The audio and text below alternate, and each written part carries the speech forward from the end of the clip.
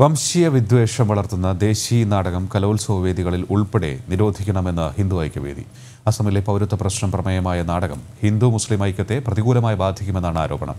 കണ്ണൂർ കാസർഗോഡ് ജില്ലാ കലോത്സവത്തിൽ ഒന്നാം സമ്മാനം ദേശിക്കായിരുന്നു. നാടകത്തിനെതിരെ നിയമ നടപടി സ്വീകരിക്കുമെന്ന് ഹിന്ദു ഐക്യവേദി വ്യക്തമാക്കി. ജനം എക്സ്ക്ലൂസീവ്.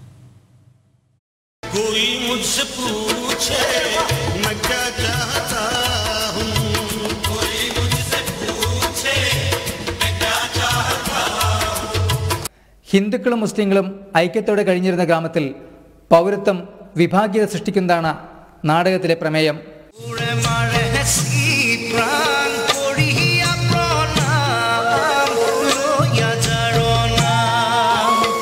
യാതൊരു ശ്രമവും നടത്താതെ ഹിന്ദു നാമധാരിക്ക് പൗരത്വം നേടാൻ സാധിച്ചപ്പോൾ മുസ്ലിങ്ങൾക്ക് അത് അനുവദിച്ചു കൊടുക്കുന്നില്ലെന്ന് നാടകം വ്യക്തമാക്കുന്നു.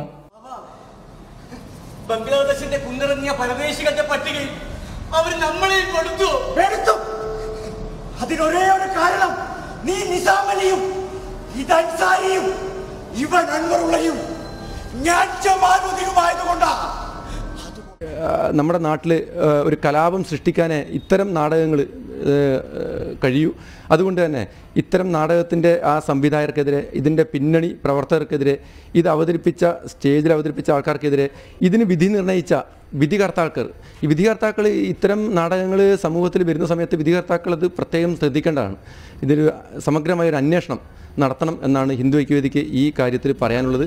പട്ടാളത്തെയും റവന്യൂ ഉദ്യോഗസ്ഥരെയും അവഹേളിക്കുന്ന നാടകത്തിൽ ഉന്നാവ സംഭവവും ഇഴചേർക്കുന്നുണ്ട്. പൗരത്വത്തിനായി ജനപ്രതിനിധിയെ സമീപിച്ചപ്പോൾ യുവതി ബലാത്സംഗത്തിന് ഇരയാകുന്നു. പൗരത്വ പ്രശ്നത്തെ വഴിതിരിച്ചുവിട്ട് ഹിന്ദു മുസ്ലിം വിഭാഗീയതയ്ക്ക് നാടകം കളമൊരുക്കുന്നതായാണ് ആരോപണം. പോലീസ് ഉദ്യോഗസ്ഥനായ പ്രേമൻ മുജുകുന്നതിനേതാണ് നാടകം. നാടകത്തിനെതിരെ ഹിന്ദു ഐക്യവേദി നിയമ നടപടിക്കൊരുങ്ങുമ്പോൾ സംഭവത്തിൽ കേന്ദ്ര സംസ്ഥാന രഹസ്യാന്വേഷണ വിഭാഗം അന്വേഷണം ആരംഭിച്ചിട്ടുണ്ട്.